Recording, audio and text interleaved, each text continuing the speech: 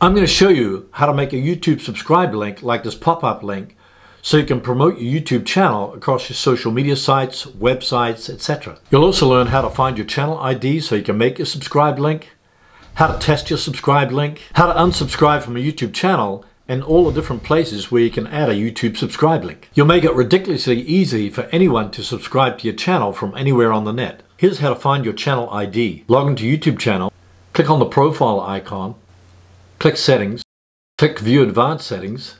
Now you've got the user ID and you got the channel ID. You want to copy the channel ID. You can also use a custom URL, which in my case is youtube.com forward slash c forward slash drost video. Paste your channel ID into Notepad or some other document.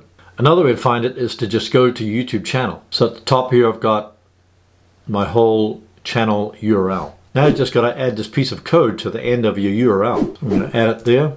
You can also substitute your channel ID with your channel name like this or place a C before your channel name like this. All three URLs will work to create a subscribe link for YouTube channel.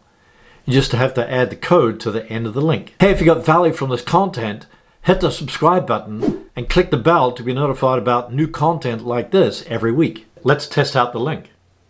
It's going to highlight the link. So I'm going to paste the link in my browser, hit return, and here's a pop-up link to subscribe to my channel. It says confirm channel subscription. Are you sure you want to subscribe to Drost Video? Click subscribe. As you can see the red button changed to subscribe. Hey Herman, does this subscribe link work on mobile?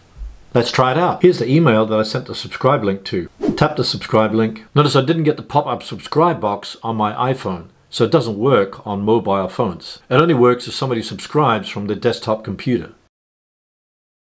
If I want to unsubscribe from a channel, I can just click on subscribed and it says unsubscribe from Drost Video. Click unsubscribe.